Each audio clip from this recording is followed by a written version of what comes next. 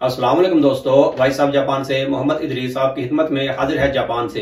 दोस्तों, आज की वीडियो है जी जापान के वीजे के हवाले से ही, टूरिस्ट वीजे के हवाले से। जैसा कि पहले मैंने वीडियो बनाई थी, उसमें बताया था कि 11 अक्टूबर 2022 से जापान ने सारी दुनिया के लिए अपने दरवाजे खोल दिए हैं, जिसमें पाकिस्तान, जापान, पाकिस्तान, इंडिया वगैरह हर कंट्री के लिए अभी जापान के वीजे ओपन है। यानी कि किसी किस्म की कोई पाबंदी नहीं है किसी भी कंट्री के ऊपर। जो भी मर्ज़ी आप वीज़ा अप्लाई कर सकते हैं, हर किस्म के वीजे वगैरह ओपन है। तो अब किस तरह से ये अप्लाई करना है, पहले भी इसके ऊपर मैंने एक दो वीडियो बनाई है, लेकिन कुछ वीडियो लंबी भी है। और इसलिए मैं छोटी सी शार्ट सी वीडियो बना देता हूँ, इसमें बता देता हूँ भाई डॉक्यूमेंट्स वगैरह क्या चाहिए। आपकी बैंक स्टेटमेंट चाहिए तीन महीने की।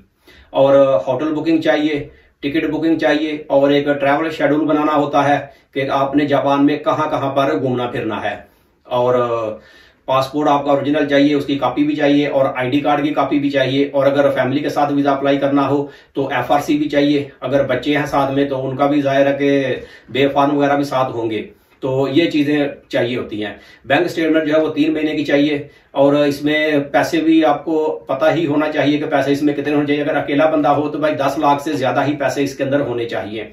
और अगर फैमिली है तो फिर भी कम से कम भी, और फैमिली और एक बच्चा भी साथ में हो अगर, या दो बच्चे भी हो तो पंद्रह से अठारह लाख के दरमियान बैंक स्टेटमेंट आपकी होनी चाहिए। यानी कि जो अवेलेबल बैलेंस है, आपका क्लोजिंग बैलेंस वो इतना होना चाहिए। तो आप अम्बेसी में जाके वीज़ा अप्लाई करें, और ये वीज़ा जो है, ये बिल्कुल फ्री है। पाकिस्तान के लिए बिल्कुल फ्री है, किसी किस्म की कोई इसकी फ़ीस नहीं है। जिस बंदे के पास पाकिस्तानी पासपोर्ट है, वो ये वीज़ा अप्लाई करेगा करेगा अगर तो फ्री है। बाकी दूसरी कंट्री के लिए इतनी ज़्यादा भी फ़ीस नहीं है, लेकिन बहरहाल पाकिस्तान के लिए इसकी कोई फ़ीस नहीं है, बिल्कुल फ्री है। अगर आपका वीज़ा लग गया तो फ्री में वीज़ा लग जाएगा। और अगर नहीं लगता वीज़ा तो छह महीने की स्टंप लग जाती है। आप छह महीने तक दोबारा जापान का वीज़ा अप्लाई नहीं कर सकते। किसी और कंट्री का तो अप्लाई कर सकते हैं, लेकिन जापान का वीज़ा अप्लाई नहीं हो सकता। और ये इसमें डिटेल है। फिर भी अगर इसमें कोई चीज़ मिसिंग हो गई हो तो आप जापान एम्बेसी की वेबसाइट में जाके तो देख सकते हैं क्या क्या रिक्वायर्ड डॉक्यूमेंट्स वो मांगते हैं। हाँ इसमें एक डॉक्यूमेंट्स और है कि आप काम क्या करते हैं। तो एनओसी वगैरह भी चाहिए कंपनी का, जहाँ पर आप काम करते हैं। सैलरी कितनी है? और अगर अपना काम करते हैं तो अपने काम का भी लिखना होगा, फिर ज़ाहिर है उसमें अपने काम का या बिज़नेस है अगर आपका तो उसमें कुछ एक्स्ट्रा डॉक्यूमेंट्स भी चाहिए होंगे। वो आप जापान अम्बेसी की वेबसाइट पर काउंसलर सेक्शन में देख लें कि वीज़ा के लिए क्या क्या रिक्वायर्ड डॉक्यूमेंट्स चाहिए। और इसमें एक मजीद में इजाफा कर दूँ कि अगर इसमें आपके पास जापान से किसी का कोई दोस्त, रिश्तेदार हो तो वो अगर आपको स्पॉन्सर इन्विटेशन वगैरह भेजता है तो उसमें वीज़ा लगने के चांसेस और भी ज़्यादा होते हैं।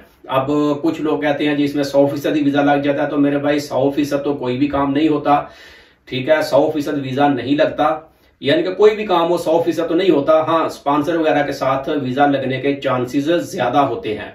तो यही इसमें डिटेल है। फिर भी अगर किसी दोस्त ने कोई चीज़ पूछनी हो तो भाई मेरा Facebook page voice of Japan के नाम से है। वहाँ पर मेरा व्हाट्सएप का नंबर ऐड है तो आप मुझे मैसेज करके पूछ सकते हैं। जो मुझे मालूम होगा, मैं इंशाल्लाह आपको बता दूँगा। तो ये वीडियो बस यही तक थी। वीडियो अच्छी लगे तो इसे लाइक कर दे। मिलते हैं किसी अगली वीडियो में। तब तक अपना बहुत ख्याल रखें। पाकिस्तान जिंदाबाद।